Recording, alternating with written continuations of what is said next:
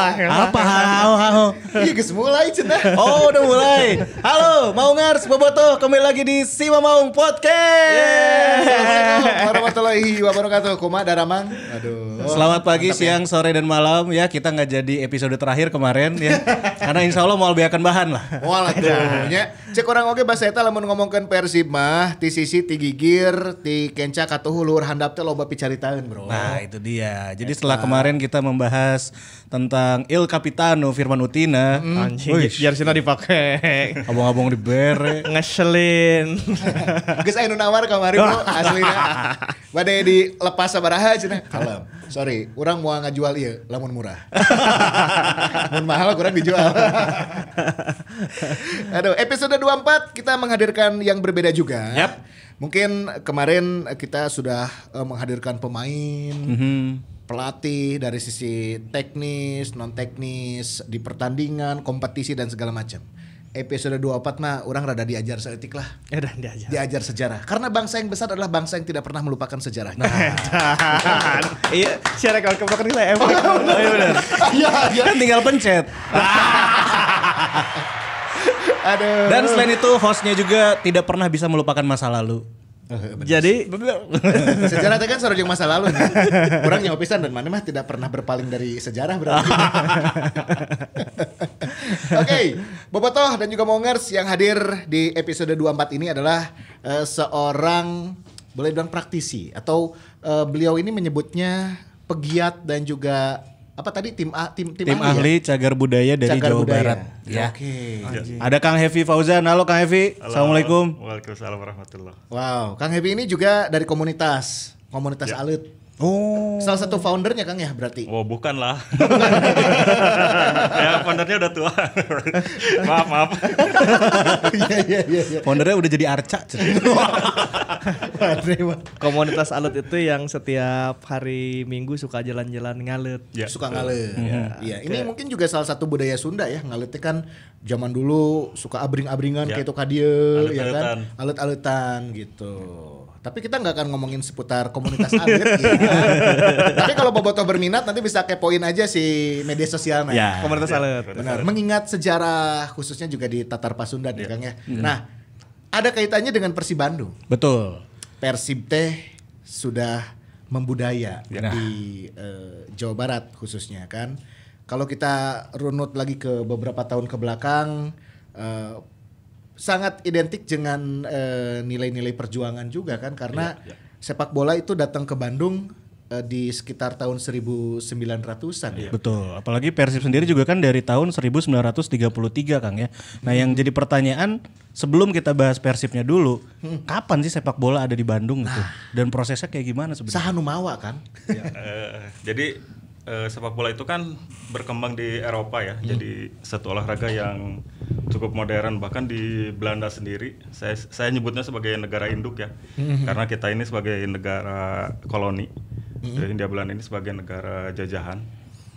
Itu dibawa oleh orang-orang eh, Belanda. Di Belanda sendiri ada satu kompetisi yang jadi Cikabaka Eredivisie, Eredivisie atau RSD Divisi.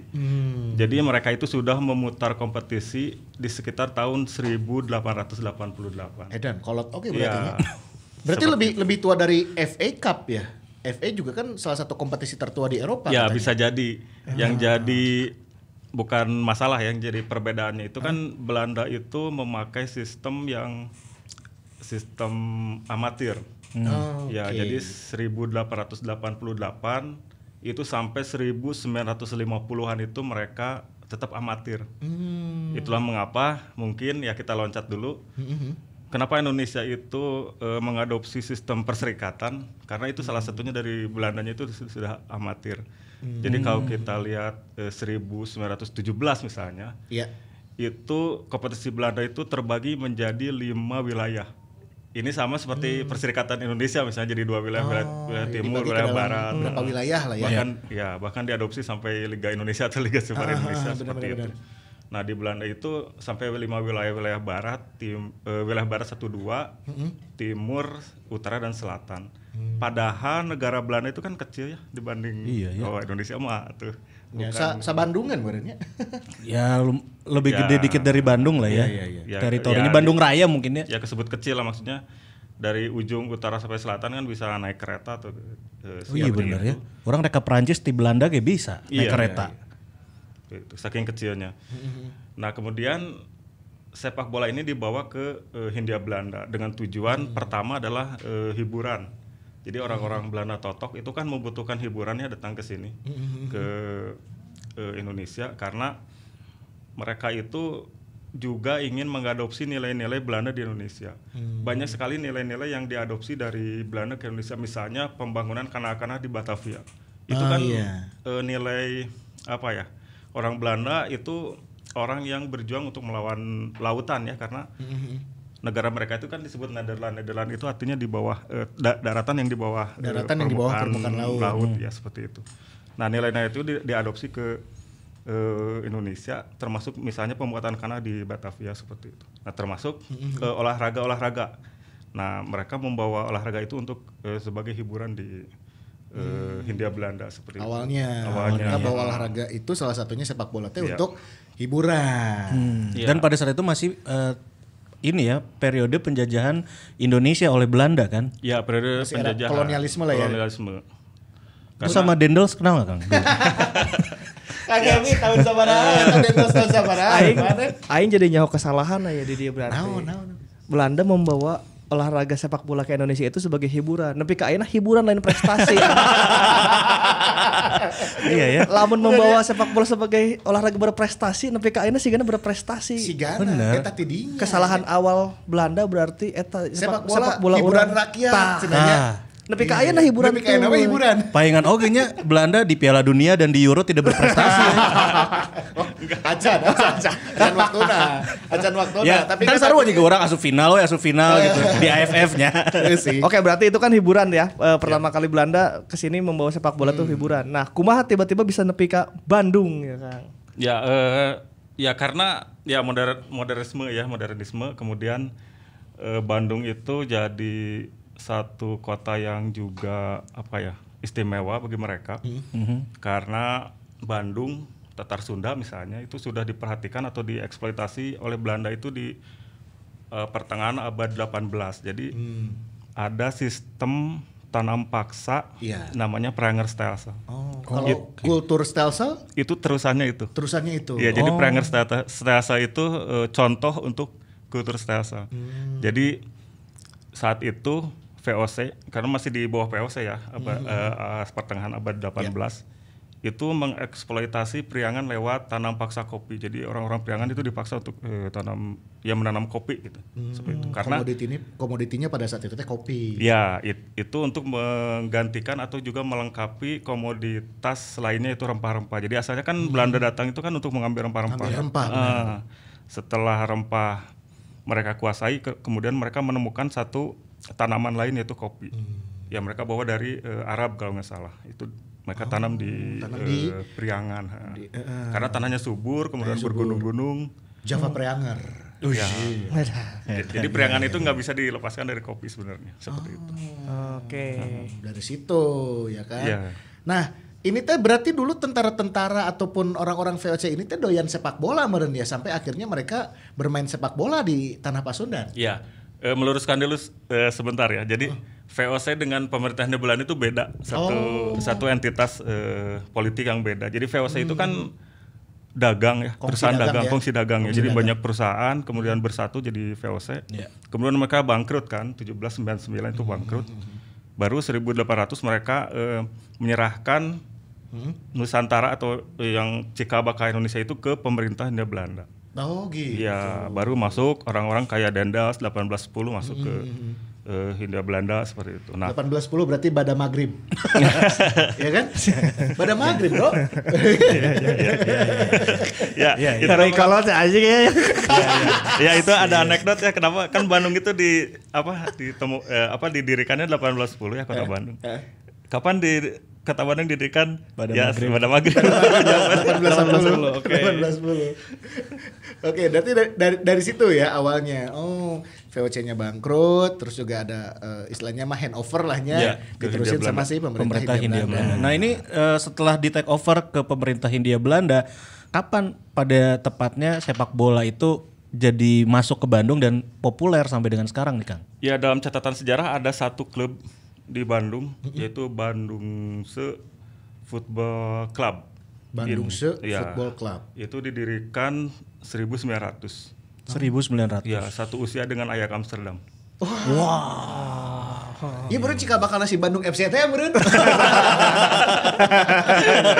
Bedanya lainnya. Lain lain lain. Ya dari dari sana mulai mulai berkembang karena sepak bola ini ya jadi kemudian jadi perlahan jadi hiburan rakyat juga kemudian dimainkan oleh eh, banyak kalangan. Kemudian orang-orang Belanda mendirikan klub-klub sepak bola selanjutnya. Karena ini juga mencontoh dari Belanda sana. Karena di Belanda sana kan mulai mendirikan klub-klub ya seperti misalnya Ajax 1900 kemudian dan lain-lain misalnya VSV atau Feyenoord eh, setelahnya. Nah, di Bandung sendiri mereka kemudian mendirikan klub-klub seperti Uni, Oh. Sidoli, eh, seperti Sidoli. itu. Itu tuh dari zaman dulu ternyata ya. Dari zaman dulu Uni itu se- sekitar 1900 berapa ya? 1902 kalau nggak salah. Lebih kolot uni daripada Persibnya. Ya. Iya berarti. Kayak kayak kayak- kayak. Iya, nu mainna orang Indonesia apa orang Belanda? Ke klub-klub itu tadi. Nah, klub ini klub Belanda ya. Hmm. Jadi yang mainnya seharusnya orang Belanda, tapi nanti ada eh, orang-orang Indonesia juga bisa masuk ke Hindia Belanda, eh ke klub-klub Ke klub-klub Belanda. itu.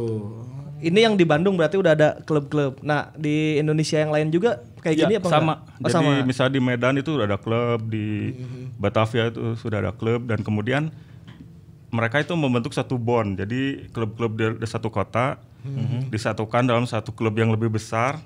Itu misalnya di Bandung itu ada BVB juga, Bandung eh, Football Bond. Nah itu tuh cikal bakal Persib ya. BVB. Nah, itu di pihak Belandanya. oh di pihak Oh, di Belanda. pihak ya, Belanda. kan di Persibnya itu ada BVB. BVB. Oh, Bandung iya, oke. Bandung Industry Football Bond yang itu yang BIVB, 1923 BIVB. ya. Walaupun secara metodologi sejarah sumber primernya kan belum ditemukan belum ada tapi eh, ya sejarah apa ya oral traditionnya kita bilang BVB tahun sekian, Persib tahun sekian itu kan secara metodologi sejarah masih bisa terus kita cari gitu. Masih masih dalam pencarian. Seperti itu. Bro, ini nggak bisa berkata-kata gue nih.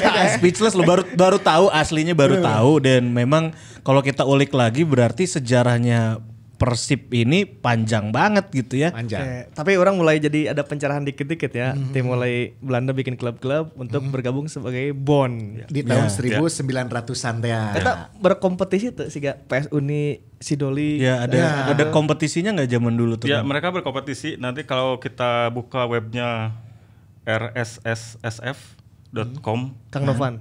ya Kang Novan salah satu itu eh, apa penyuplai datanya. Kita bisa melihat daftar juara eh, eh, di sana, daftar juara kompetisi per kota misalnya. Nanti diaduin sama kota lain, Oh. seperti itu. Oke, tapi ber- berarti belum dalam PSSI ya, belum belum under PSSI mereka.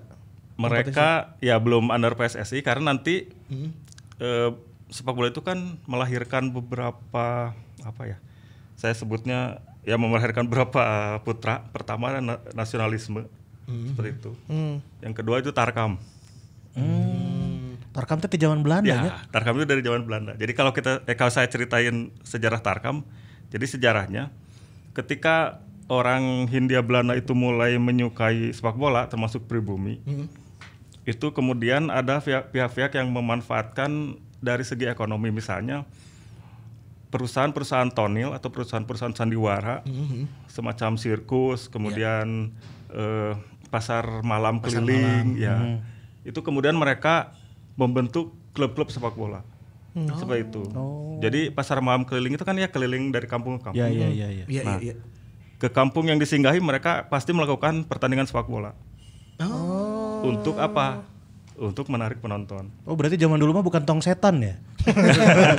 Main bola. gitu. Tapi ini intermezzo nih menarik ya bahwa si grup-grup ini Ya. juga dia punya kesebelasannya. Ya. Contohnya Sri Mulat.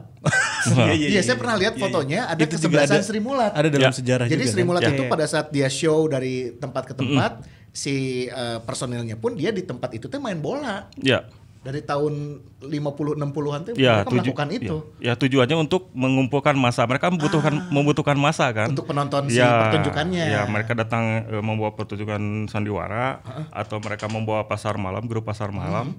Mereka membutuhkan pengunjung. Nah, untuk menarik pengunjungnya itu mereka men- membentuk satu tim sepak bola dan melakukan pertandingan dengan eh, klub atau kampung setempat. Itu yang ditujunya. Nah, pemain-pemainnya bisa jadi bekerja di sana atau mereka dibayar. Oh, ini tarkam-tarkam Nah, itu tarkam itu sejarahnya Cabutan, gitu ya. cabutan, Ya, seperti itu. Tapi zaman dulu Tarkam udah ada domba cup belum kan? Disi ya kan. Oke, berarti memang sejarahnya cukup panjang nih, Boboto ya. Nah, kalau kita sambungkan lagi dengan akhirnya ada banyak klub di Kota Bandung nih bermunculan. Kang Hevi tadi bilang kan ada eh, Uni lah atau ada beberapa klub lain juga. Lanjut ke cikal bakal terbentuknya Persib Bandung Ya. nih di era pra kemerdekaan berarti Ya, kan? ya. Karena kalau kita lihat tahun berdirinya Persib kan 1933. Ya.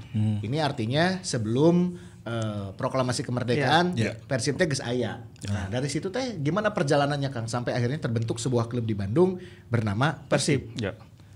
Eh, selama ini kita pasti disuguhi oleh sejarah Persib dan nasionalisme ya. Jadi nasionalisme itu satu gerakan yang ujungnya membawa Indonesia itu ke arah kemerdekaan. Nah, karena sepak bola ini berkembang cepat ya di Hindia Belanda, bukan hanya di Bandung, jadi kemudian klub-klub pribumi ini membentuk eh, klub, eh maksudnya orang-orang pribumi itu membentuk klub-klub juga untuk ya istilahnya mereka senang-senang juga. Oke. Orang Belanda main sepak bola, kita juga ya bisa dong eh, seperti itu main Abita sepak bola. ah Iya. orang hayang meureun nyeun klub gitu nya. Iya karena secara bakat kemudian kalau kita lihat seorang Kucid misalnya itu Kucid ini pahlawan Persib Bandung tahun 37 jadi juara Persib itu kan juara di Solo 1937 salah satu pemainnya adalah eh, Kucid Kucid. Heeh, namanya Kucid beliau itu bekerja di salah satu bioskop di Bandung kemudian bosnya beliau ini tahu bahwa Kucid ini punya bakat Oh. sepak bola. Nah, eh, Kucid seorang pribumi, bosnya seorang Belanda. Nah si Kucid ini, eh si Kucid, beliau ini Apa kan? Wow. Wow lah. si Kang Hevi jeung kucit teh geus pisan tah. Kang pernah foto bareng yang Kucid. Kucit-kucit dia orang Bandung, Kang. ya orang Asli Bandung ya? Asli Bandung, pribumi ya. Pegawai satu bioskop. Nah si bosnya ini memasukkan Kucid itu enggak ke klub pribumi, Oh. tapi ke klub Eropa. Eh ke klub ya ke ke, klub klubnya asing. si orang-orang Eh, Belanda ya, ini. Saya kurang tahu klubnya eh, di mana. Soalnya ada artikelnya di si momong.com silakan diakses aja di sana. Ada. Ada. Nah ini seperti menggugurkan bahwa di sep- di Bandung itu sepak bolanya ter apa ya terpisah gitu antara pribumi dengan eh, Blok-blokan gitu nya. Eropa ya. Ini akibat dari pemisahan ras itu yang undang-undang 1854. Jadi kan 1854 itu di Hindia itu ada undang-undang pemisahan kelas di penduduk Hindia Belanda berdasarkan ras. Berdasarkan berdasarkan ras. Jadi ada ras Eropa, kemudian kelas 2-nya ras Asia, Asia. ya Asia Timur dan Timur Tengah. Mm-mm. Dan ketiganya pribumi. Dan ini masuk ke segala sendi kehidupan. Jadi misalnya ke pendidikan. Ya. Jadi orang-orang pribumi yang bawah itu su Asupna sukar KSR. sekali ya masuk Subna kan ke SR we gitu ke atas kecuali orang-orang tertentu seperti Soekarno Kamu alumni SR ya? Tahu sih. seperti itu. Termasuk eh, masalah tadi apa? Di sepak bola juga. Bukan ada apa di remang eh, apa kehidupan malam. Wah, kehidupan Wah, kehidupan malam nih rame ya. suhu. Ya cikal bakal Sudirman ya. Zaman dulu udah ada spa belum nih? Ya, jadi orang-orang pribumi itu masuknya ke Gardu Jati, sedangkan orang-orang Eropa itu masuk ke yang sekarang jadi Jalan Kejaksaan di Braga. Oh. Seperti itu. Ya ya Ya ya ya ya. ya. Kita beladinya ya. aya karaoke karek buka. Enggak, paling kan memang eh, di sekitaran Jalan Braga budayanya atau bangunan-bangunan masih identik dengan Belanda juga ya Kang ya. Ya, karena itu pusatnya orang-orang Eropa di sana. Untuk eh, tadi ya selain hiburan, hiburan sepak bola ada macam. hiburan di situnya juga Ya, ada gitu ya. bioskop juga di sana. Seperti itu. Menarik menarik menarik. Ya. eh, kemudian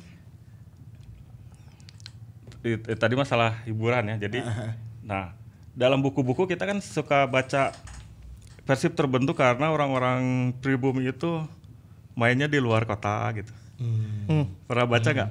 Eh, Orang-orang Belanda mainnya di dalam kota. Itu kalau dalam perspektif lain karena Bandung itu kan masih kecil ya. Jadi batas Bandung itu sebelah timur itu kaca-kaca wetan. Perapatan lima, perapatan tapi lima gitu. Perapatan 5. Iya. Kayaknya Ya. Simpang 5. Hmm, Simpang lima. Kemudian di sebelah baratnya kaca-kaca kulon di Andir. Andir. Ya ke atasnya sekitar ya Babakan Cipara itu Cicendo eh bukan Cipara, Babakan Ciamis atau Babakan Ciamis. ya Cicendo. Ya ya. Ke selatannya ya Tegalga. Tegal-lega. Nah, yang jadi masalah orang-orang Belanda sendiri kan susah nyari lapang. Mereka main awal-awal masuknya sepak bola ke Bandung itu mainnya di alun-alun.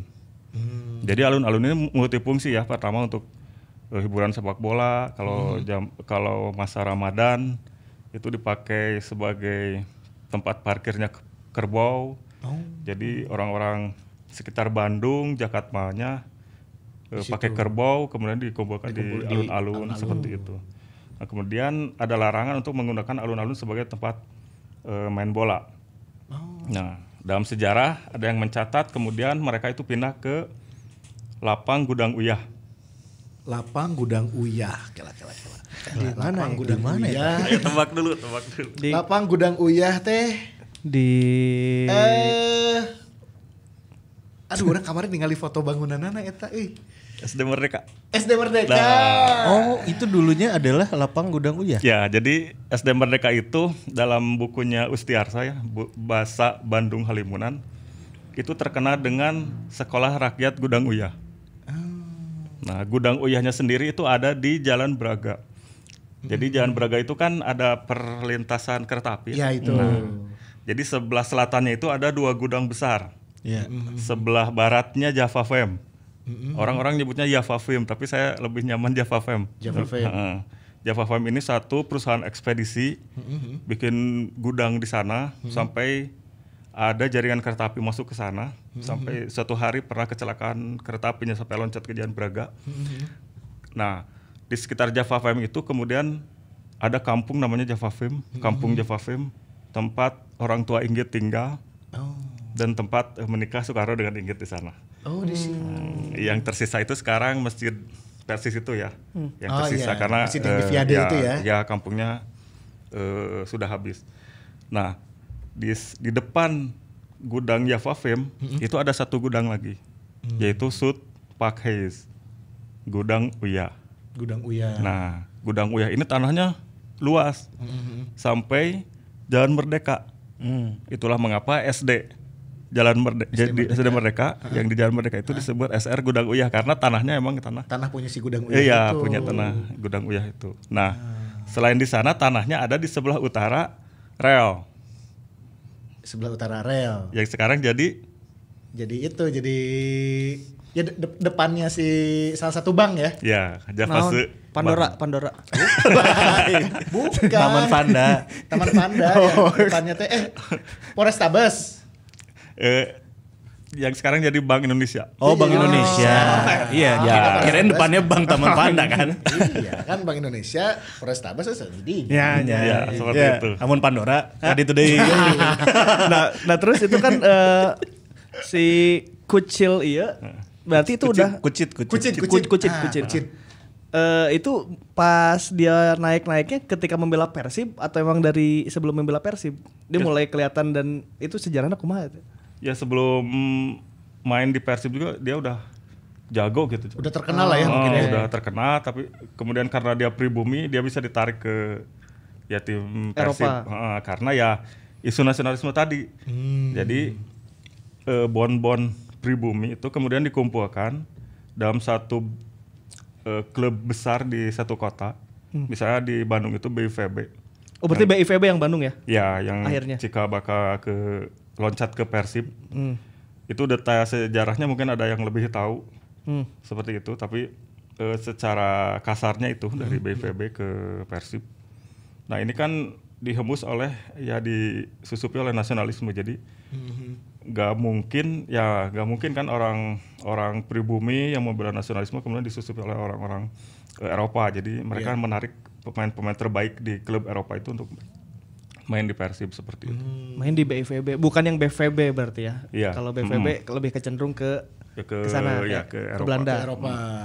Oke, berarti aja BIVB. BIVB iya. Nah, BIVB teh berarti sudah mulai eksis di persepak bola teh di tahun 1923. 23. 23. 20-an. Nah, Oke. Ya karena eh, kenapa ini men- membentuk klub kemudian menjadi hembusan nasionalisme karena ya dulu itu semangatnya emang semangat nasionalisme. Jadi orang-orang terpelajar saat itu ingin melakukan atau ingin mendorong apa yang di- disebut dengan emansipasi saat itu. Jadi emansipasi itu adalah kesetaraan Kesetaraan. kesetaraan. Jadi orang-orang terpelajar saat itu ingin mere- mereka ingin setara dengan orang-orang Eropa.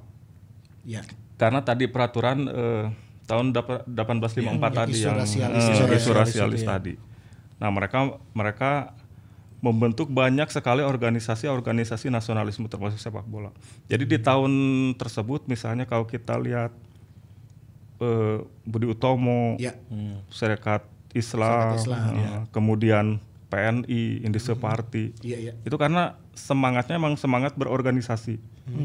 Untuk apa? Untuk mencapai eh, emansipasi tadi, untuk Kesetaraan mencapai ya. kesetaraan tadi. Heeh. Berarti politis ya sebenarnya. Ya, ada, ada, ya, ada unsur politis.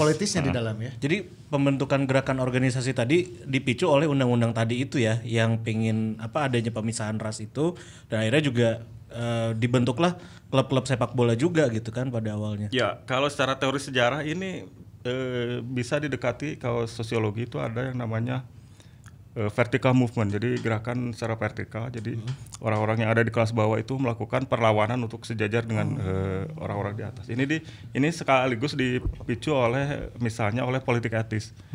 Jadi setelah Belanda menerapkan tanam paksa tadi kultur stelsel, kemudian orang-orang kiri di Belanda itu memaksa untuk eh, kerajaan Belanda memberikan apa ya semacam balas budi kepada orang-orang Hindia Belanda. Oh. Salah satunya adalah pendidikan.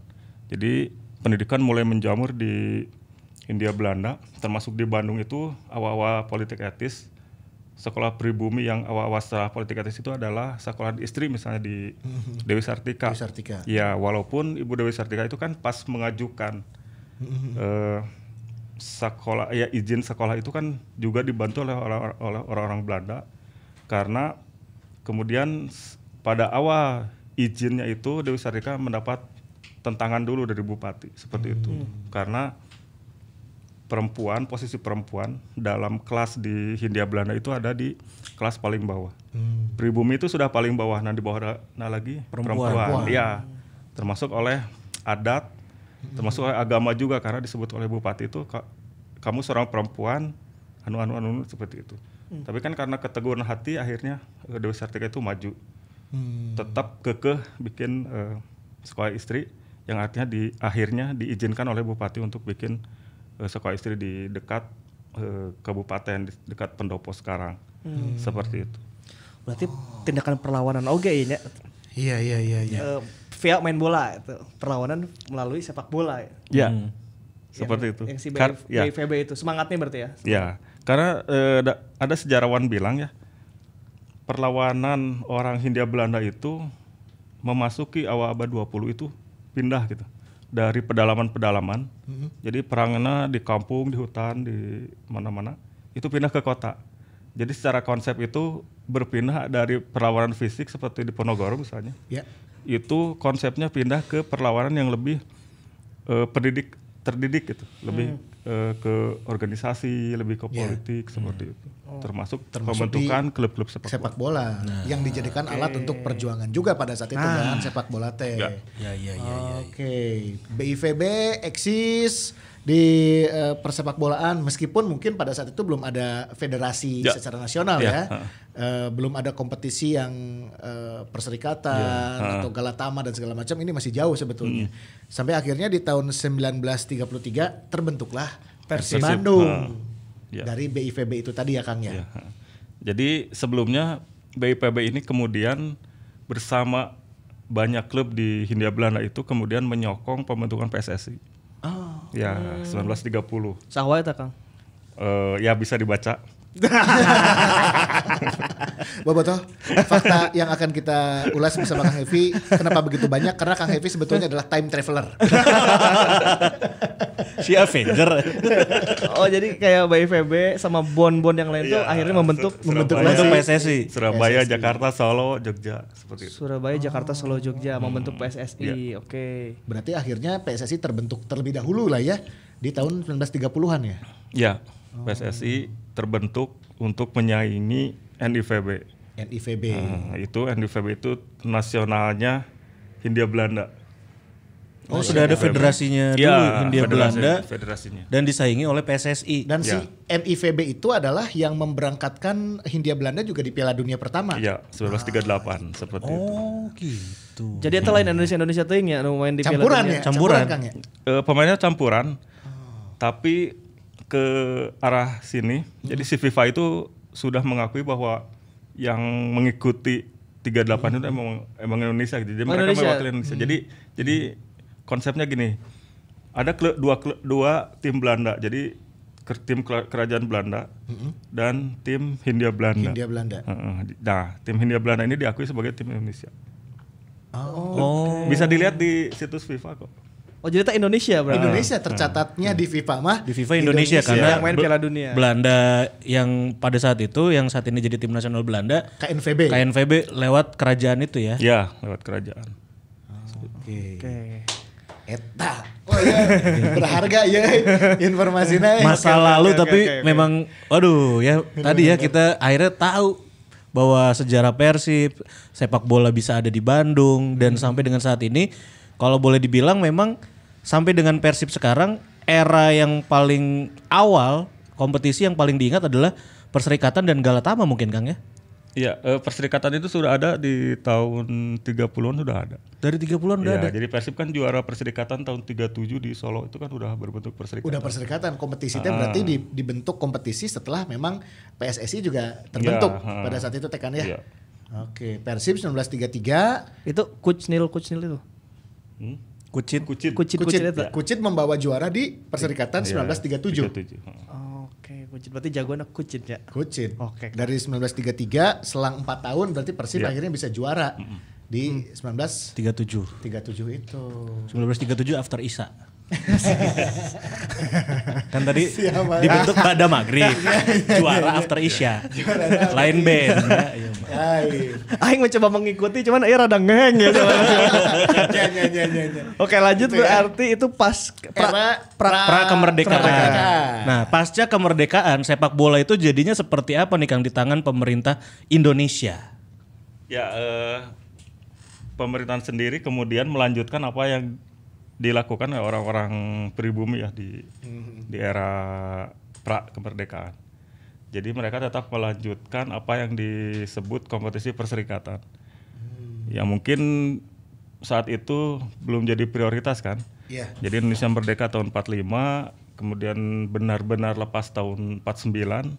Mhm. Kemudian Indonesia itu ya belum yang belum dapat contoh bagaimana kompetisi yang baik, bagaimana kompetisi yang profesional karena di Belanda sendiri kan Eredivisie misalnya baru terbentuk tahun eh, pertengahan tahun 50-an. 50-an itu Nah, tadi. dan- Tapi pada saat di tahun 30-an eh, PSSI ini membentuk ataupun menjalankan roda kompetisi perserikatan, dia mengadopsi dari Belanda juga. Iya, mengadopsi dari Belanda juga. Jadi sistemnya amatir. Jadi sepak bola Belanda itu sampai pertengahan tahun 50-an itu tetap amatir. Oh. Sampai kemudian ada beberapa pemain yang ditransfer ke Perancis. Ada satu aturan yang melarang orang-orang Belanda itu mendapatkan uang dari sepak bola sampai seperti itu. Oh. Ya saking konservatifnya orang-orang Belanda seperti itu.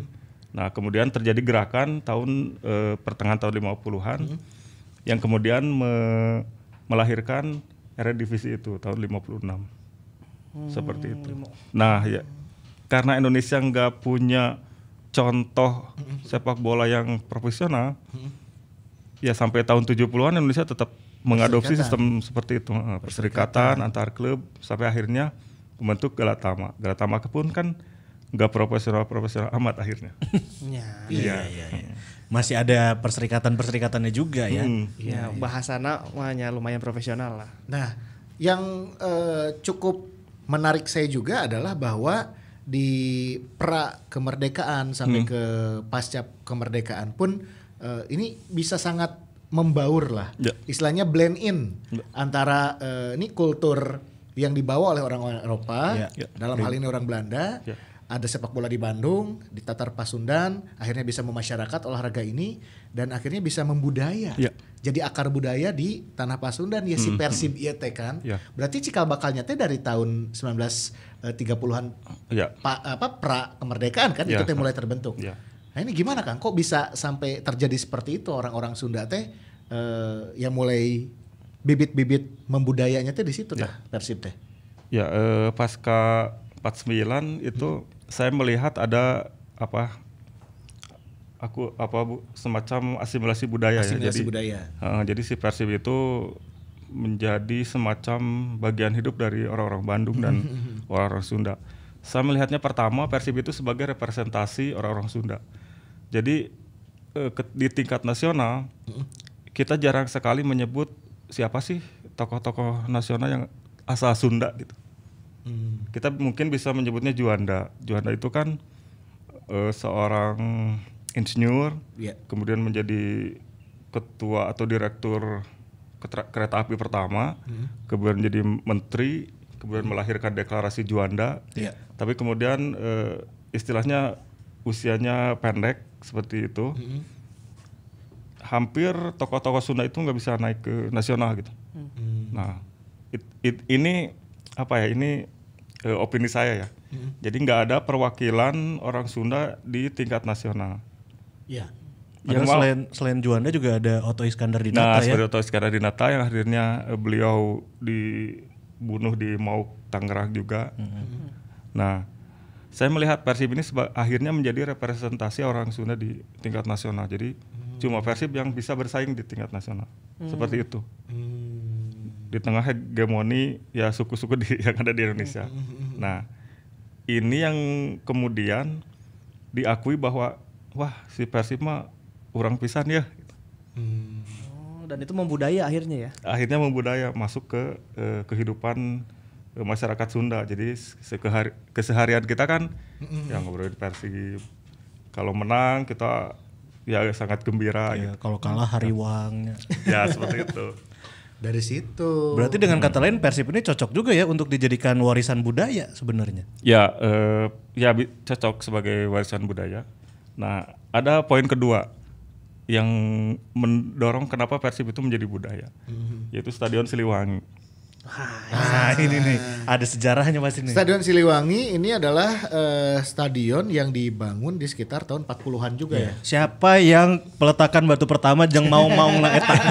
Aing penasaran ya. Bisi orang-orang na dendels kan. Nah ini gimana ada kaitannya dengan karena kan Siliwangi juga identik dengan eh, militer, Kesundaan. identik dengan kesundaan Ya. juga dari kata Siliwanginya gitu ya. Jadi ya kita tahu lah eh, Siliwangi itu dipakai sampai eh, tahun 2000-an lah kita ki- Iya, iya, bisa dikatakan seperti itu. Nah, sebenarnya kan Siliwa- Stadion Siliwangi itu pada awalnya adalah stadion atau lapangan sepak bola milik militer. Kese- namanya Sparta. Jadi Sparta ini merupakan tim militer dari eh, kenilnya ya kenil eh, Belanda yang dipindahkan dari Batavia. Jadi di, di Batavia itu ada juga nama sep- eh, apa tim sepak bola namanya Sparta. Oh, Oke. Nah, karena mereka pindah juga ke Bandung sebagai sebagian dari persiapan Bandung sebagai calon pengganti Batavia sebagai ibu kota Hindia Belanda. Mhm. Mereka kemudian juga memindahkan klub sepak bolanya. Mereka bawa klub sepak bolanya dengan nama Sparta. yang sama Sparta. Si Sparta ini. Sparta Rotterdam. Iya, kan udah di Belanda. Kan di Belanda. Oke. Dan Stadion Siliwangi dibangun untuk memfasilitasi tim Sparta. Tim Sparta ya, pada saat eh, itu awalnya ya. ben- belum berbentuk stadion ya, Hanya masih lapang- masih lapangan, lapangan. ah, masih lapangan. Nah saha eta nu masang eh, iya maung tah. Itu di tahun 40-an ya, Kang? Sparta itu teh. Sparta itu kan milik Belanda. Jadi pra kemerdekaan, Oh, pra-kemerdekaan. eh, pra-kemerdekaan, ada satu tim namanya Sparta. Hmm. Mereka main di Cikabaka Stadion Siliwangi. Hmm. Karena ya tadi di Bandung itu susah, Susah sekali lapang, ya. lapangan. Di Sampai- zaman sampai Belanda- sekarang ya? Iya, di zaman Belanda. Kayona. Menyambung cerita tadi dari Gudang Uyah itu kan pindah ke Jalan Jawa yang sekarang jadi Bank BTN. Nah dari sana mulai eh, Uni mengangsur satu tanah yang ada di Karapitan itu. Oh. Si Dolik itu Oh iya. iya. menempati lapangan milik pemerintah di Kosambi. Seperti itu. Anu Tegalaga, Tegalaga. Tegalega itu dipakai oleh pribumi karena ada di luar. Karena orang-orang pribumi kan susah dapat di tengah. Mereka dap, eh, mereka main di Tegalega yang Karena Tegalega itu kan notabene perbatasan pada saat ya, itu ya. perbatasan dan Tegalega itu lebih untuk orang Belanda itu dipakai untuk pacuan kuda. Bukan lapangan sepak bola. Berarti main bolanya teh kalau Sparta mah di lapangan yang sekarang jadi Stadion Siliwangi, kemudian yang di Gudang Uyah itu beralih ke ya beralih ke Jalan Jawa. Jawa. Di Jalan Jawa kemudian mereka harus dipindah kontrak, lagi. kontrak. Heeh. Unilah yang waktu itu menggagas untuk mengontrak Ya. si lapang milik pemer- eh, tanah milik pemerintah untuk jadikan lapang yang sekarang jadi lapang Sidolik. Enggak, kalau Uni itu membeli tanah Oh, membeli. eh, bupati di Karapitan yang Parapatan 5. Oh, Oh iya, iya, iya. yang Oh, iya, akhirnya iya. terus sampai kemarin-kemarin masih ya sebelum apartemen itu ya. yang jadi Dipakai apartemen Uni. itu Yang jadi sekarang. apartemen sekarang ya? Eh, itu Uni. iya iya. Kalau si Dolik ya tanah pemerintah yang pemerintah. di Kosambi itu, Yang yang di Kosambi. yang di seka- sekarang jadi mes. Mes. Hmm. Oke. Mm-mm. Seperti itu, kaos Sparta di sana. Jadi si Stadion Siliwangi adalah bagian dari eh, fase budaya Persib ya. Ya. Nah itu eh, kenapa ya. bisa jadi demikian kang? Ya, kemudian setelah Indonesia merdeka itu kan aset-aset kenil itu yang di sekitar Archipelago itu, yang jalan-jalannya itu nama pulau, itu kan aset-aset militer ya. Ya, Manado, Ambon, Nah, Jawa, Jalan Bali, ya. Bali. Lombok. Itu diakuisisi oleh eh, Angkatan Darat, Hmm. oleh TNI, kemudian mendirikan eh, divisi Siliwangi di sana. Nah, termasuk include lapangannya, lapangan bola. Ya. Nah, lapangan bola itu kemudian dibangun menjadi stadion sekitar tahun 1954 di sana.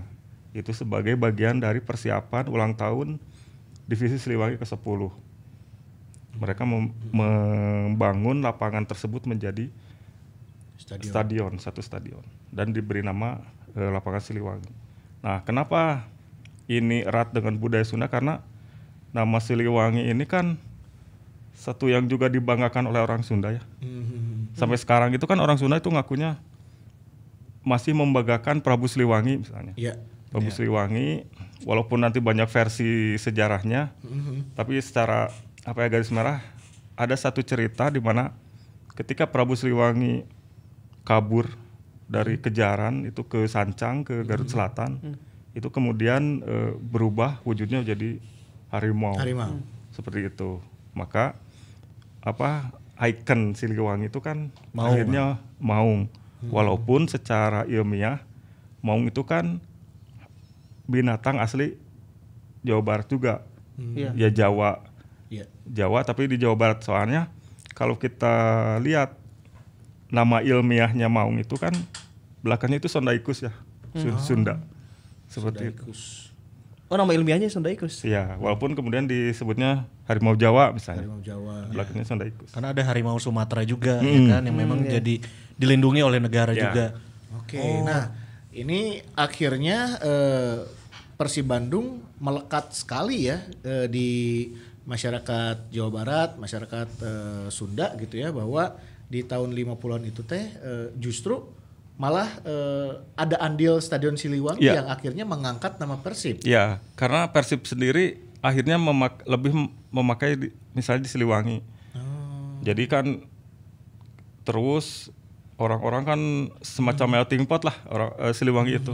Iya. Jadi kalau anak-anak sekarang misalnya eh, organisasi Bobotoh misalnya seka- eh, sekarang itu kan yang maaf yang kolot-kolot itu kan ketemunya di Siliwangi. Iya iya iya. Iya iya betul. Iya. betul. Iya iya iya. apa pun ya semacam apa ya Siliwangi itu udah terlalu dekat. Eh, saya pas saya kerja di Saudi misalnya, saya saya ketemu se bap- seorang bapak tua asal Cianjur. Dia saksi per- eh, pertandingan Persib dengan VSV Eindhoven. Dia itu orang Cianjur. Dia datang dengan bangga, dia menceritakan bagaimana dari Cianjur dia datang naik angkot ke Iya. Stadion Siliwangi. Stadion Siliwangi ya. Nonton Persib lawan PSV. Ya nonton Persib lawan PSP. Nah orang-orang Jawa Barat itu sebenarnya seperti itu. Nonton Persib bangga, Cerita. eh, datang ke Siliwangi, terus cerita itu kan akhirnya dia turun temurun. Iya, itu Iya, iya, iya. Stadion Siliwangi itu jadi bagian sejarah, Bro. Tah, Ya, iya, iya. Iya kan? Sejarah naon? Nonton Persib Najeng aing nikahna jam batu. si anjing tah. lain lain Nah, kan bawa Maaf, lain aing gak suat-suat ya. lain di dinya wae beren. Aduh, tapi ini kenapa Kang? Eh, Persib teh identiknya di Stadion Siliwangi padahal kan ada Ya ada banyak sih Sidolik nih. Lapang-lapang yang kayaknya representatif juga Si- buat Sidolik Persib. juga kita kenalnya sekarang oh Stadion Persib. Iya iya iya. iya. Nah, ya kan Stadion Persib. Tapi malah Persib Semua kenangannya di Eh, Siliwangi. Kenangannya atau tumbuh dan berkembangnya itu di Stadion Siliwangi sampai akhirnya kenapa dan Persib pun dijuluki Maung Bandung. Nah, ya kenapa di Siliwangi karena sampai tahun sekian Hah? itu lapangan atau stadion yang representatif cuma Siliwangi. Siliwangi. Oh, oke. yang ada tribun, tempat duduk penonton. ya. Kalau kita tahu sejarahnya Sidolik misalnya tahun 90-an akhir itu kan dia itu pun juga punya tribun. Ya. Tapi terbuat dari kayu seperti itu. Oh, berarti tidak bisa menampung penonton banyak lah ya gitu. Ya tidak representatif. Itu bagaimana pemain-pemain PSP misalnya PSP, PSP. PSV. PSP mah PSP Padang. Renato Elias. Atau ini pancaran sinar petromak. PSP Padang. Eh, Toyo Claudio kan dulu PSP Padang ya? eh, balik deh. ya, bagaimana PSV pemain Eindhoven. Bagaimana pemain Eindhoven itu mereka mau main di Siliwangi. Berarti di zaman itu PSP itu kan setahun setelah main lawan Persib itu kan juara champion. Oh, itu delapan berapa sih kan? 87.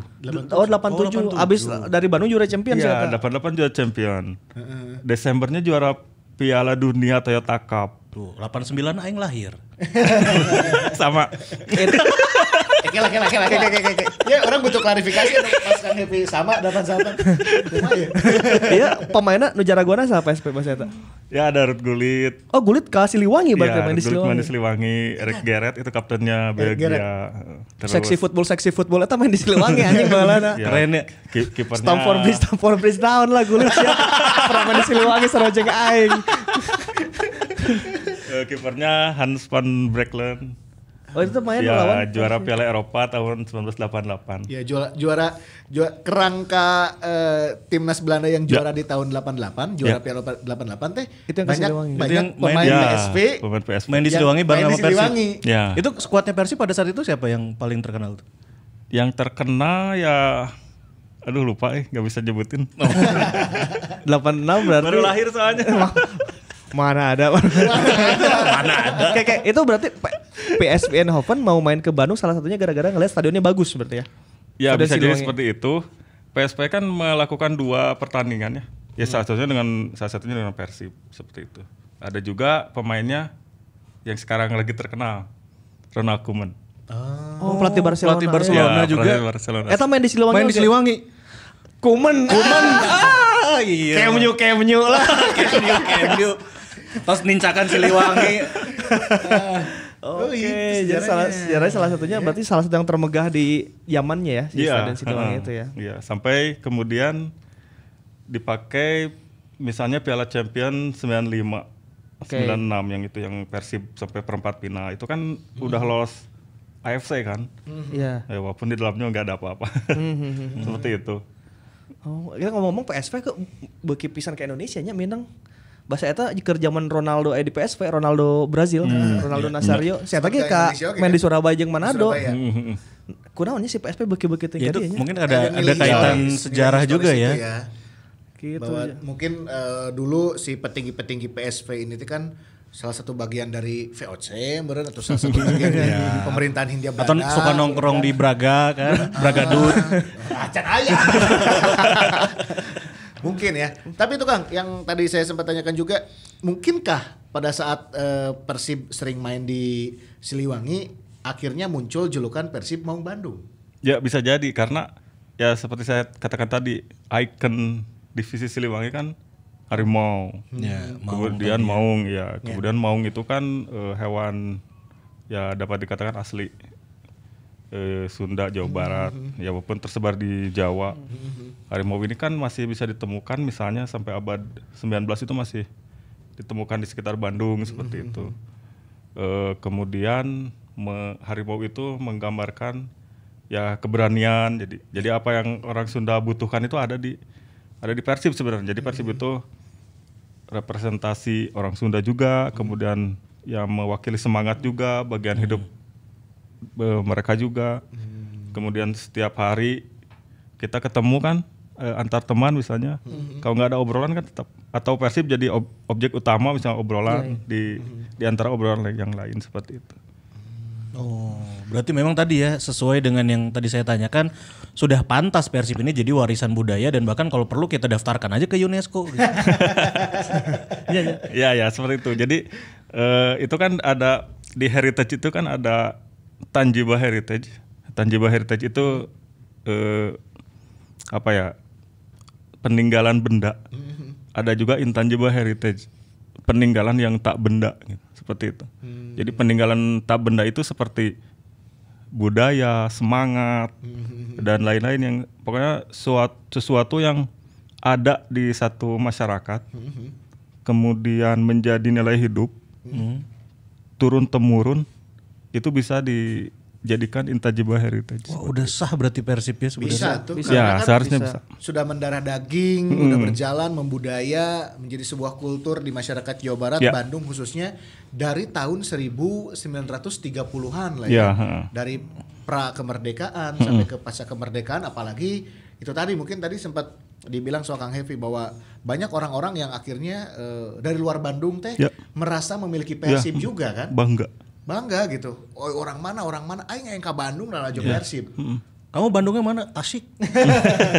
kan sok aya nu gitu. Atau mungkin gini dulu aja eh, orang-orang saya orang-orang Kabupaten Bandung teh pada saat mau ke kota bilangnya juga ke Bandung.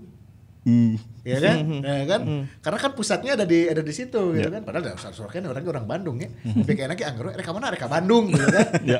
Ada satu kebanggaan akhirnya pada saat salah satunya mungkin direpresentasikan oleh Persib Bandung itu Ya. tadi sebagai nilai juang, nilai budaya, ada semacam semangat, ada semacam hal-hal lain yang akhirnya membudaya sampai sekarang orang teh ngomongin Persib teh Ya. Ya, iya budaya, budaya Dan, aing dan gitu. bukan hanya Bandung ya, kita bicara sekarang Persib juga sudah jadi bagian bagi seluruh masyarakat Jawa Barat Ya. dan utamanya mungkin Indonesia Ya, gitu kan.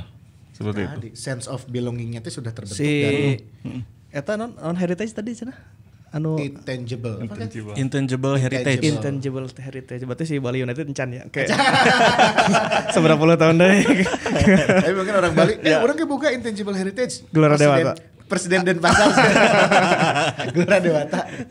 Oke berarti itu Siliwangi jadi salah satu ikon ini ya Iya. ikon budaya yang di mana kita berkumpul kolot-kolot orang kolot-kolot Iya. orang, kan. kolot Bandung. boga anak orang-orang ngobrol Tuh. orang boga budak kayak budak orang budak orang di mana tapi kayak di geus GBL berarti Kang Kamu nggak? budak orang kayaknya. Iya ya. Karena berarti ada fase dipakai. ada fase transisinya iya ya Bener. Jadi memang dari zaman Siliwangi sampai akhirnya kita punya stadion GBLA itu kan tadi ya eh, Siliwangi dianggap tidak representatif lagi Ya, untuk eh, bobotoh dan menampung supporter ya yang banyak. Bahkan ada saat itu pertandingan lawan Persija kita sampai Central Ban loh.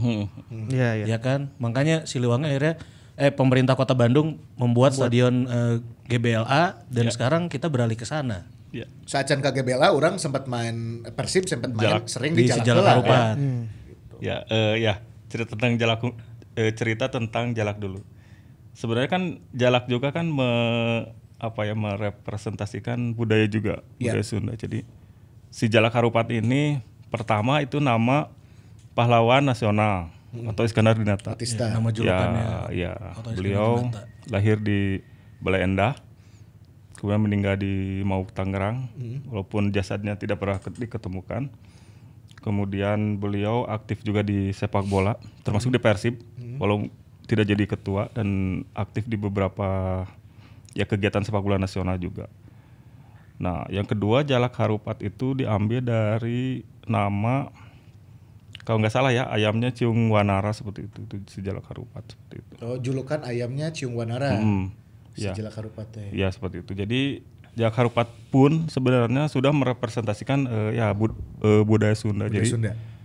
Harupat itu kan apa? Ujung atau apa ya dari bagian dari eh apa ya? Kalau sapu ijuk itu apa? Lidi. Ya ada sapu injuk itu yang kerasnya itu namanya harupat. Namanya Harupat. Ya, harupat itu sifatnya itu bisa seperti pisau bisa merusak, bisa bisa melukai seperti itu. Iya, iya, iya. Nah, itu eh, arti dari si Jalak Harupat. Nah, kalau Persib main di si Jalak Harupat sebelum tol ada, Mhm. tol Pasir Koja Seroja. Soreang, Hmm, eh, Seroja. Seroja. Itu penduduk pasti eh, menunggu di pinggir-pinggir jalan seperti itu. Hmm, di Katapang. Ya. Iya, iya. Warung lobak. Ya, seperti itu. Di Maing, Sayati, Robocop. Iya, ya teh kopo, Mana kopo. Robocop, meh? Rombongan bobotoh Iya, iya, kopo. tah budak-budak lalu kan Iya. eh, kayak gitu ada. Iya. Nungguan bis ngadadaan pemain Ya, padahal ya. eueuh pemainnya. Itu juga termasuk masuk ke budaya, Iya, maksudnya. Pemelih- eh, konservasi budaya harusnya. Seperti itu. Jadi sebenarnya kalaupun Persib lebih cepat naik ke tol, naik ke tol, itu sebenarnya mengurangi apa ya kedekatan dengan eh, penduduk yang ada di Kopo sebenarnya. Tah. Seperti itu. Apalagi sekarang ke GBA misalnya nggak lewat apa-apa, Iya, iya. langsung Iya, di GBA itu kan sesuatu yang apa ya? Tolonglah buat driver bis Persib ya. Pak Wawan, Pak Wawan. Masih Pak Wawan, masih. Tolonglah. Ini warga masyarakatnya butuh hiburan walaupun kita nggak bisa nonton nanti ya. Iya. Pada saat pertandingan minimal nggak ada dahan weh. Untuk Persibnya kan dada-dada itu senang. Nah, untuk tim lawan jadi kan orang wah. Tapi nih, sekarang kan udah mulai agak luntur ya budaya. Hmm, Kita eh, nungguan per- bis Persib lewat, Ya. nungguan pemain lewat di sisi jalan, menyoraki atau sekedar say hi gitunya. Nah, baheula kan. Baheula apakah eh, kultur supporternya teh sudah terbentuk juga? Eh, kayak Nah, ya, ya. Bobotoh tuh kayak rombongan sih gitu? datang ngabring ayo orang ke Bandung lah Jo Persib atau lebih ke individualis aja ah sorangan-sorangan we datang panggil di lapang gitu. Bala teh. Eh, ya. Tadi saya jemput eh, kisah tentang ya seorang bapak Nah, dari itu dari Cianjur situ. itu Nah. datang ke Siliwangi misalnya. Ya di sana mereka mencarter angkot. Jadi mereka bersama-sama itu datang ke Bandung untuk menyaksikan eh, Persib. Kemudian saya pernah melakukan perjalanan jauh ya ke Pangandaran misalnya naik motor. Besoknya Persib main, Ya. itu di pinggir-pinggir jalan itu anak-anak atau para pemuda yang memakai kaos biru itu sudah ada. Sudah mulai berkumpul. Iya, iya. Tulisannya Persib jelas. Pasti mereka eh, pasti nonton ke sana karena Rek nonton Persib padahal pertandingannya isuk gitu ya. iya Hamin satu itu pasti nonton ke Bandung gitu. Nah kemudian waktu zaman Persija di Jalak, Mm-mm. saya pernah di Cimahi itu lewat jam 1 malam itu ada serombongan pemuda juga ya jalan kaki dari Cimahi ke Jalak. Pakai baju Persib juga. Nah eh, kultur sekarang juga kalau kita lihat pas pertandingan Persib di Cileunyi misalnya itu anak-anak kecil itu udah memakai baju biru itu menuju eh, GBA menuju Jalak itu pasti pasti ada. Iya benar ya. Berarti memang apa jalan-jalan kaki ataupun pergi beriringan, bergerombol, charter angkot, memang sudah ada dari dulu Ya, gitu. naik ya. kereta api juga. Naik kereta Naik api. kereta api. Hmm. Udah jadi budaya dari zaman Budaya. dulu berarti. Itu tahun- Sekarang budayanya. Pasti pasca kemerdekaan teh ya Ya, berarti pasca kemerdekaan. Pada saat Persib sering bermain di Siliwangi Iya. khususnya karena kan sudah ada tempat yang representatif untuk penonton bisa hadir di situ, bisa menyaksikan eh, Persibnya bertanding gitu. Kadang ke stadion gitu lalajo kajero sih. Iya, emang kayak ke stadion. Ayo ya. ke stadion bener-bener bener. Bagi mereka itu udah cukup itu. Iya. Aing kan sering pepanggilnya jelema-jelema anu misalnya di di Majalaya misalnya. Aya tiket tuh. Eueuh, terus mana kan dia ngapain? bagi saya eta geus sampai stadion geus senang gitu. Aing geus ini adalah bagian mendukung Persib eh, walaupun saya tidak ke dalam. Dengan datangnya aja teh Iya. sudah sudah menjadi kebanggaan buat Ya. dia. Iya. Ada ada ada orang yang kayak gitu gitu. Enaknya sekarang mungkin ada nonton bareng walaupun di luar stadion. Zaman dulu kebayang gitu. Belum belum disiarin, mereka cuma datang Kadang doang. suara hunggul berarti. Iya Oh, kan? oh ya gol sih kan ya gitu. Terus dulu mah ya tangkal bro bisa manjat. Orang di Siliwangi pernah manjat tangkal. Nah, setelah era budaya-budaya gini, ada fase lain gak sih di Persibnya? Ya ada. Jadi setelah fase budaya 19 ya kita katakan 45 lah setelah kemerdekaan. Ada satu fase lagi yaitu 2010 kira-kira seperti itu. Oh berarti dari Jadi itu cukup panjang ya fase budaya ini teh. Panjang. Dari tahun 40-an akhir era setelah kemerdekaan sampai ke 90-an akhir Hmm, berarti ya. 90-an akhir. ah, Itu sampai masih Sampai 2010 tahun, berarti. sampai, ya sampai tahun 2000-an. berubah menjadi era Ya era modern football. modern football atau industri industri Oh, industri. ya. industri. Jadi pada saat itu juga Persib berubah jadi PT ya. Mm-mm. Yang tadinya dikelola oleh pemerintah kota akhirnya eh, jadi swasta mandiri sendiri seperti sekarang. Ya seperti itu. Inilah fase baru. Ya ini Fase fase, baru. baru. untuk Persib Bandung. Jadi fase pertama itu kan fase nasionalisme ya, saya sebut nasionalisme. Yang fase kedua itu fase budaya dan yang ketiga itu fase eh, apa ya industri ya seperti itu. Apa yang bisa diceritakan Kang Heavy dari fase industri Ya ini? dari fase-fasenya kira-kira yang paling baik kayak gimana nih Kang? Ya eh, kalau kita nyinggung tadi ya intangible heritage tadi ya, jadi eh, ini kan apa ya lebih ke modern football ya. Jadi modern football itu seperti yang menjauhkan kita dari ya dari tradisional football seperti itu. Saya melihatnya seperti itu. Hmm, Hmm. itu secara natural apa memang bakal terjadi? Ya bakal terjadi karena ya ini udah terjadi kan di eh, di Eropa sana udah terjadi pasca Premier League misalnya. Saya pernah baca satu jurnal tentang eh, pendukung Manchester United misalnya. Oh yang FCUM, yang bikin FCUM. Eh, eh. Jadi jurnalnya itu mengatakan baga ad- eh, menuliskan ini bagaimana Manchester United ini memaintain kefanatikan pendukungnya di di di era modern football seperti itu. Karena bisa mungkin mungkin saja modern football ini menjadi satu apa ya ancaman bagi eh, Traditional football fanatisme tadi eh, jadi fanatisme tadi. Tapi nggak bisakah ini beriringan gitu? Jadi modern ya tetap modern. Nah si tradisionalnya juga tetap dikelola oleh manajemen klubnya juga misalkan, ataupun eh, kelompok supporternya. Ya, ini jadi PR buat klub sendiri sih. Jadi bagaimana si klub ini memaintain fanatisme di fanatis- fanatisme di pendukungnya. Karena di era modern football ini kita misalnya pendukung itu kan akan disuguhi oleh eh, apa ya? alternatif alternatif yang lain. Misalnya kalau kita melihat ke Eropa, kita juga selain mendukung Persib kan kita mendukung tim-tim Eropa lain. Seperti itu. Iya. Nah, yang jadi masalah apakah kita pendukung Persib ini bisa mewariskan eh, saya pendu- saya fanatik terhadap Persib nih. Hmm. Apakah kepanatikan ini bisa kita turunkan ke anak cucu kita seperti apa yang dilakukan oleh kakek atau ayah kita ke kita gitu? Ya, oh gini. Cantan tuh. Itu ada kemungkinan enggak turun emang Kang? Ya Kalau karena di fase ini. Ya karena se- secara budaya kan udah berbeda. Sekarang era internet. Kemudian kita lihat di perbatasan-perbatasan apakah di perbatasan itu misalnya ya bobotoh seperti seperti mereka itu nanti anak-anaknya itu akan tetap mendukung Persib atau tidak gitu misalnya. Karena kan kemudian fanatisme ini kan dipengaruhi oleh banyak hal ya, termasuk oleh pergaulan misalnya. Kita mendukung Persib kan bisa jadi turun temurun. Tapi orang-orang yang di perbatasan misalnya kan kan mereka akan bergaul dengan eh, masyarakat yang lebih eh, heterogen misalnya. Mereka mendukung klub mana? Hmm. Wah saya mah mending si itu ada si itu mah klubnya anu anu anu. Nah, yang jadi tantangan apakah Persib itu mampu nggak mempertahankan eh, apa nilai kepanatismean itu?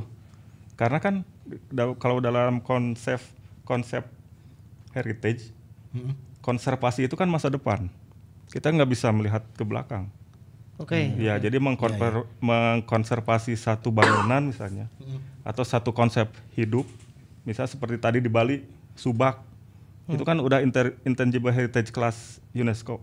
Hmm. Apakah ke bawahnya itu mereka mampu mempertahankan tradisi itu atau enggak seperti itu? Nah, ini pernah kejadian loh. Ada temen gue orang Bogor yang malah eh, ya kalau kita tahu Bogor gitu ya, identik dengan tanah Pasundan, Jawa Barat, mungkin sukanya Persib gitu. Ternyata pas zaman kuliah eh, enggak, enggak sih, udah lulus kuliah gitu. Malah sukanya Bali United gitu. Nah, seperti Ka- itu. Karena melihatnya ya tadi dari sisi modernitas, eh, klub eh, pemain-pemainnya dan juga ya udah nggak ngeliat lagi sejarah. Saya mah ngelihat eh, si klub ini karena permainannya misalkan atau memang eh, pengelolaan klubnya dan supporternya, kelompok-kelompoknya dan lain sebagainya. Mungkin seperti itu kali Kang ya. Iya, seperti itu. Bisa luntur berarti si nilai-nilai budaya yang dulu sudah terbangun Ya, bertahun-tahun panjang sekali dengan eh, industrialisme di sepak bola Ya. dengan modernisasi di sepak bola itu bisa hilang nanti berarti. Tapi dengan Ya, kata tentu lain. Persib juga bisa jadi punya eh, supporter yang baru mungkin dari luar eh, Ya. tanah Pasundan Ya gitu. bisa itu globalisasi. Jadi kan kuncinya tetap di klubnya itu. Apakah di dalam pendukung yang sudah mendukungnya itu dia mampu mempertahankan fanatisme dan mampu untuk me- apa, menurunkannya kepada anak cucu atau enggak gitu. Terus apakah mampu merangkul ap- seperti apa yang dilakukan oleh klub-klub Eropa di kita gitu misalnya. Ya. Kita ini kan fanatik terhadap klub sepak bola Eropa, juga terhadap negara-negara Eropa. Rela kita nonton subuh-subuhnya. Iya. misalnya saya di klub kan eh, fanatik terhadap Ajax Amsterdam misalnya. Iya. Di tingkat negara saya membela Belanda. Belum tentu eh bukan berarti kita tidak nasionalis kan. Iya, iya. Iya, iya. tapi, tapi kita eh, di apa seperti dikasih pilihan-pilihan untuk untuk memilih gitu. nah, ini terjadi di era sekarang. Tapi memang modern football kan ya zaman lagi memang tidak bisa di ini Iya. kan maksudnya. Ya, tidak bisa dihindari. Tidak bisa dihindari dan kita memang harus masuk ke era itu pada akhirnya. Si Persib juga harus beradaptasi dan adjustment gitu ke ke si fase modern football ini kan.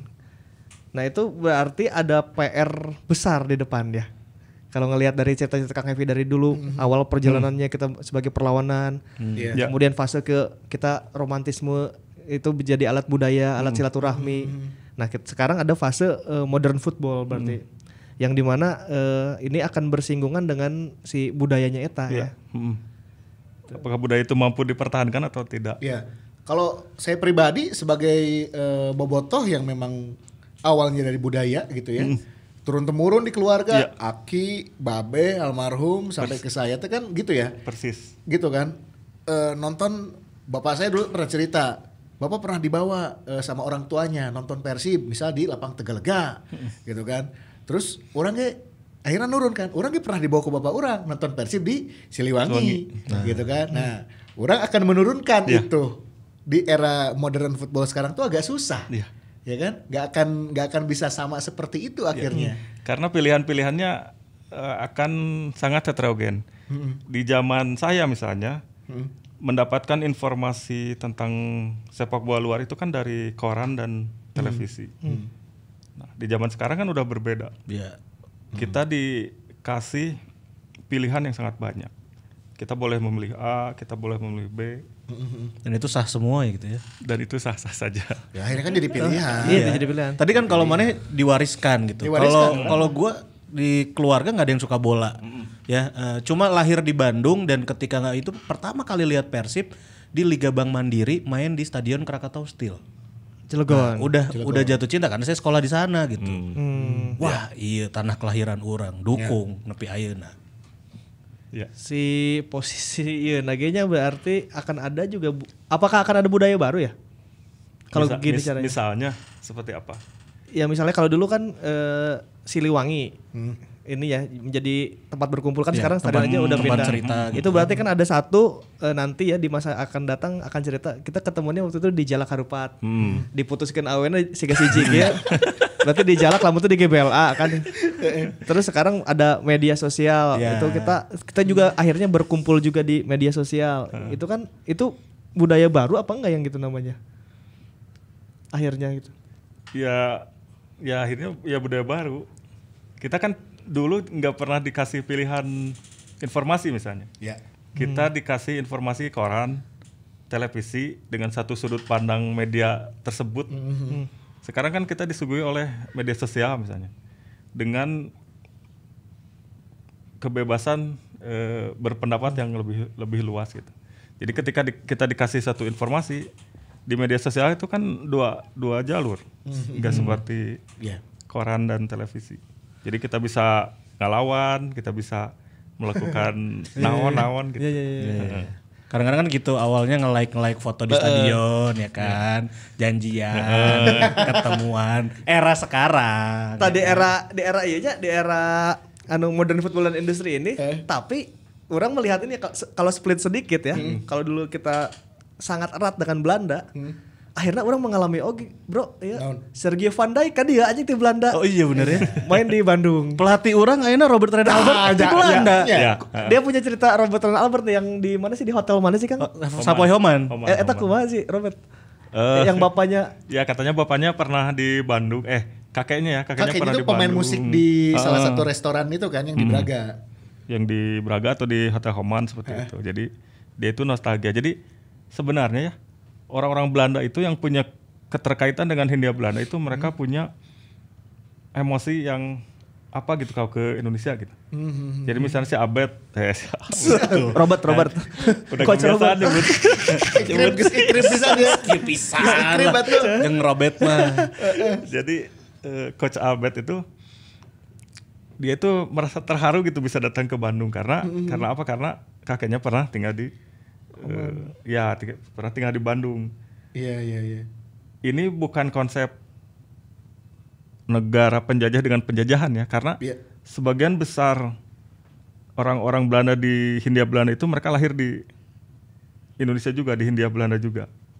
Termasuk beberapa pemain timnas Belanda juga kan per- lahir di Hindia Belanda.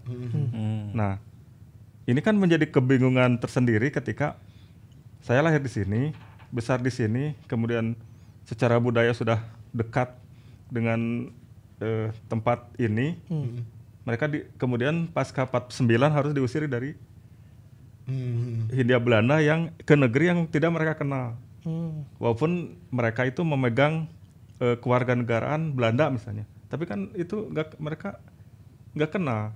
Saya nggak lahir di sana, saya nggak besar di sana. Oh, secara kedekatan hati ya. Oh, ya. Iya. kedekatan, Emosionalnya di situ dapatnya. Si Robert dapat berarti di Bandung Iya. ya. Robert dapat Iya. meskipun Robert tidak lahir di Bandung. Hmm. Tapi ada silsilah keluarganya yang pernah berkunjung ke sini dan mengingat gitu ya. Iya karena ada tradisi orang-orang lama yang tinggal di Hindia itu mereka melakukan apa ya semacam reuni, semacam oh saya saya di Hindia pernah ke sini, oh saya saya di Hindia pernah ketemu siapa seperti itu.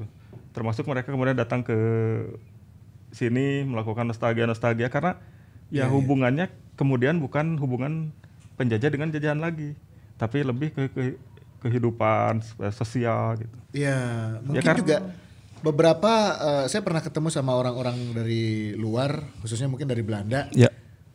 Dia udah turunan keberapa sebetulnya Iya, dari eh, apa silsilahnya dia Iya. dulu, ya kan? Yang pernah datang ke Indonesia, pernah datang ke Bandung, misal entah itu di pemerintahan Hindia Belanda gitu ya, ataupun ada urusan lain gitu ya orang-orang orang-orang tuanya dia dulu teh datang ke Bandung gitu ya. Nah dia pun eh, ada semacam orang kudu ke Bandung euy karena baheula. Buyut orang teh pernah di Bandung pernah melakukan hal ini dan segala macam. Orang teh hayang napak tilas oh baheula teh eh, kamana wae nya kolot orang teh gitu. Nah si wisatawan-wisatawan ini teh datang ke Bandung akhirnya untuk bisa explore hal itu Ya. gitu nya Ya kalau di keluarga perkebunan itu ada keluarga Karkoven. Jadi mereka sering datang ke misalnya ke maska, makam Boska di Pangalengan, kemudian ke Gambung ke eh, perkebunan ya ba- perkebunan teh itu yang ada makam Karkovennya juga. Kerkhoven. Ya Rudolf. Rudolf van Kerkhoven ya. Heeh. Ini mungkin ada hubungannya sama pesepak bola juga Nico van Kerkhoven ya.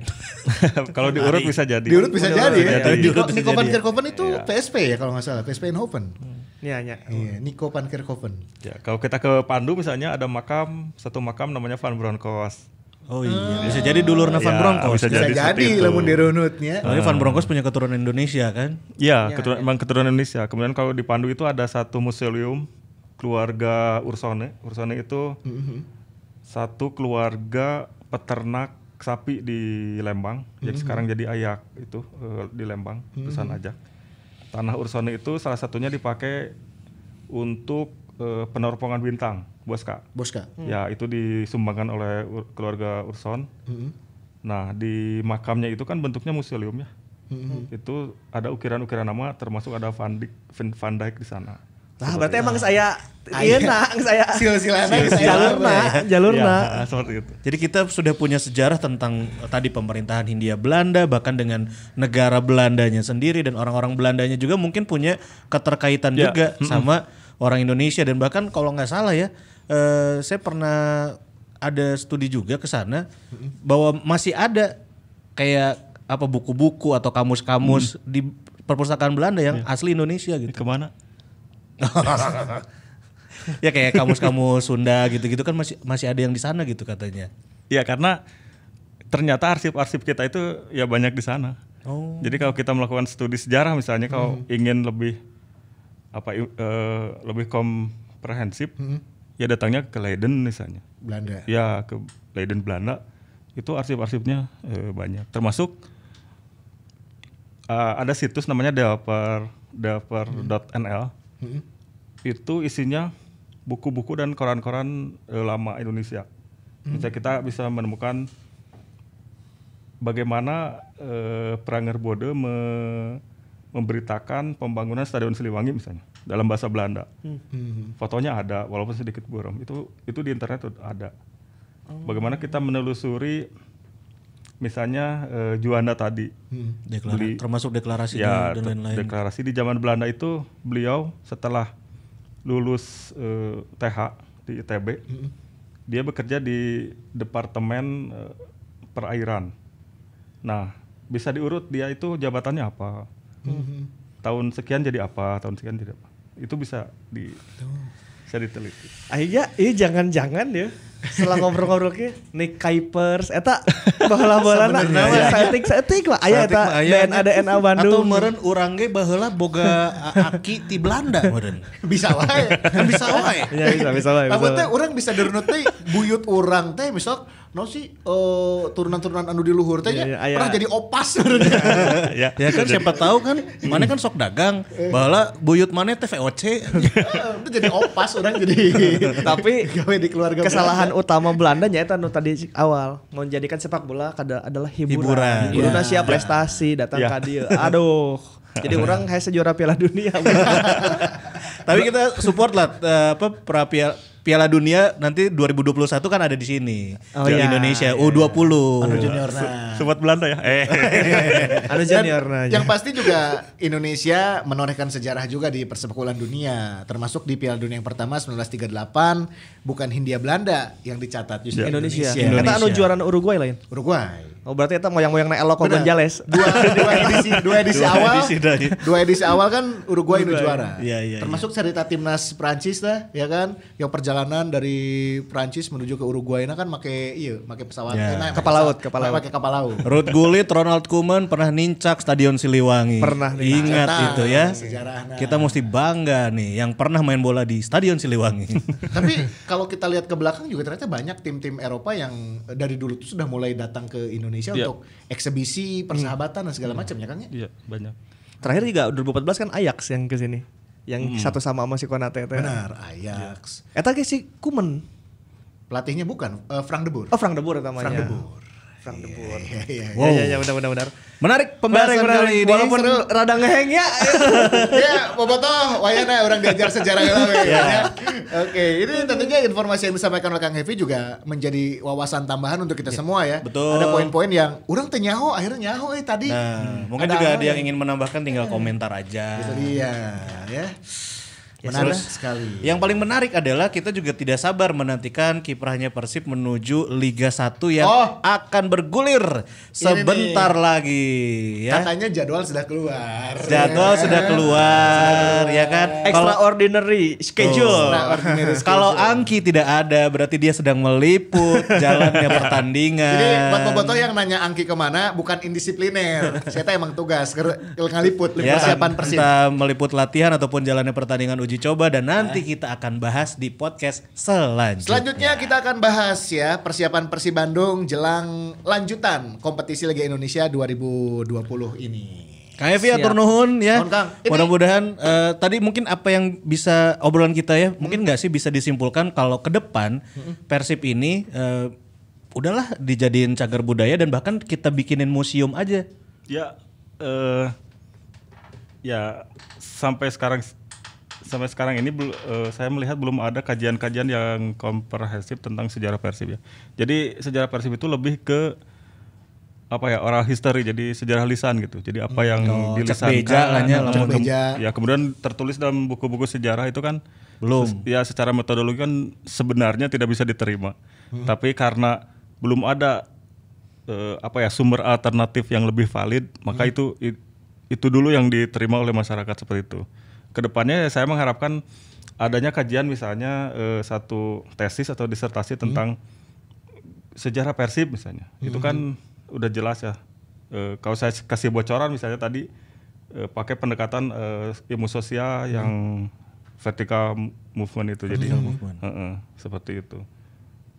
Jadi harus ada kajian keilmuan. Kajian keilmuan ini sebenarnya secara materi ya. Kalau kita lihat secara materi ya emang nggak jadi apa-apa gitu. Misalnya kita invest, bikin museum atau bikin satu kajian sejarah itu investasi yang sebenarnya nggak jadi apa-apa gitu.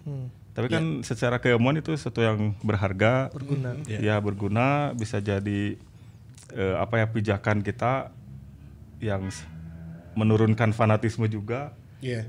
Iya. Ya, jadi anak cucu kita kemudian karena zamannya udah berbeda, mereka kan mungkin ini hoax atau apa sih? Enggak. Nah, seperti itu Ada kan. jejaknya lah. Nah, ini teman-teman akademisi tolonglah buat sebuah penelitian yang tadi mendukung eh, supaya Persib ini juga punya nilai sejarah dan value-nya juga ke depan. Ya, itu tadi yang saya inginkan dan saya harapkan adalah nilai-nilai budaya ini tidak hilang dan tidak luntur ya. Terus bisa dijaga, terus bisa diwariskan kepada eh, generasi selanjutnya gitu. Mereka harus tetap mengenal bahwa sejarahnya Persib, sejarah sepak bola, baheula teh siga kieu, baheula babe urang kieu, baheula aki urang kieu teh itu teh akan melekat selamanya gitu. eh. Ya, aduh. Keren, keren. Kang Happy keren. abis ini mau lanjut ngobrol sama saya banyak. Iya, iya, iya. Rame soalnya. Kang Happy juga bisa ditemui di Twitter ya. Iya benar.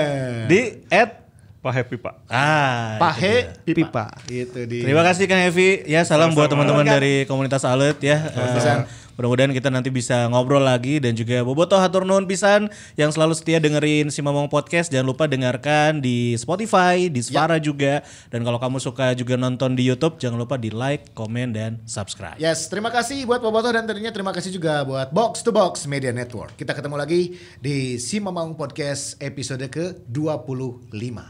Wassalamualaikum warahmatullahi wabarakatuh. Dadah.